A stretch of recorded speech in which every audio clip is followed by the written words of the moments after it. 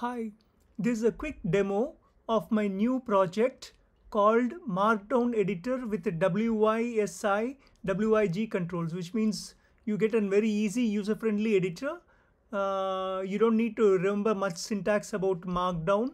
You just have to click the buttons and the syntax gets generated automatically.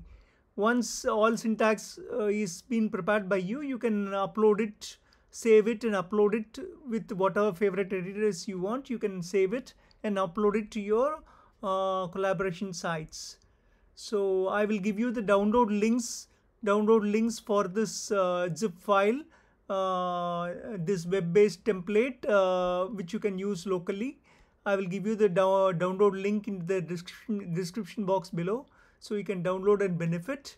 I'll give you a quick demo of uh, this now. So if you notice uh, this is the zip file that I prepared and this folder which it will extract to and there are three files there. So you have to double click on the index.html and then this is the editor interface that gets opened automatically and uh, you have all these buttons at the top which will make your make our life very easy. It generates the markdown syntax automatically.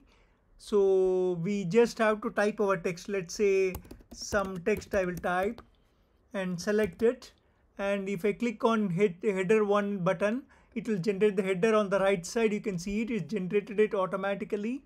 Uh, so that's how easy it is. So the markdown that line markdown special syntax is ready. So if you want to go to the next line do double spaces and press enter according to the markdown syntax and then uh, let's say some other text. Some other. Let's say I'll put some other and this time I will select it as bold. So you can see it it become bold now. Uh, or I can undo and select something else. Block quote. Block quote it will add. So like this lot of things are there. So I can control Z or command Z to undo everything here. So let's see if anything else. Main purpose of markdown is for co coding purposes. You can represent your codes very well. So let's say i select everything and uh, either i can uh, if it is a single line i click code in line. This is a multi-line i can click the code block.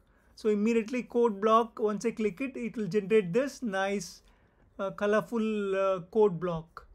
And then there are very easy things like image insertions like I click on insert image immediately image uh, gets inserted and uh, sample image gets inserted. So you have to change your https link up to this jpeg file. You have to change the link and it will refer to the new file automatically. So like that I can click on a uh, website link insert it like this and then I can click on the tables or immediately a table gets uh, a sample table gets prepared so you can just edit the table headings and the data and your data is ready.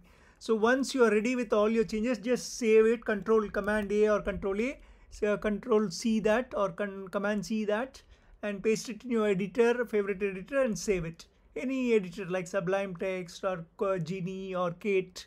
So you can use any of these uh, free cross platform editors of course sublime text is a paid version. Uh, they give you a trial period but other editors are very free and you can use them very well in your projects. I think this covers it. So please explore all these buttons and see once you select the text you have to click the button appropriate button and it will help you out. I've given a short uh, help test also here so you can view it.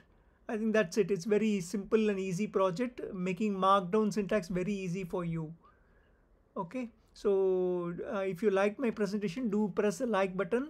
Also uh, comment share and subscribe to my channel. Also pass on this message to your friends and colleagues so that they can help out other departments and organizations.